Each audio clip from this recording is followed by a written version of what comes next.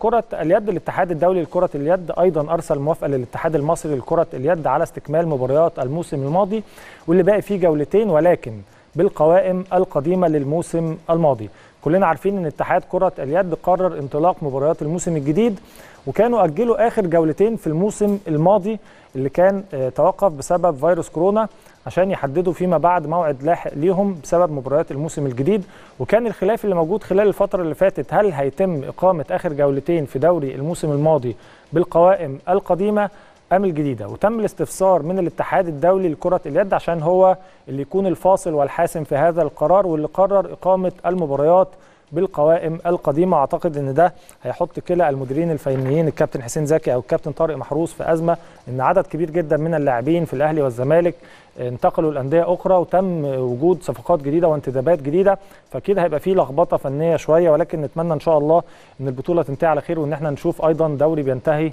بكل قوة.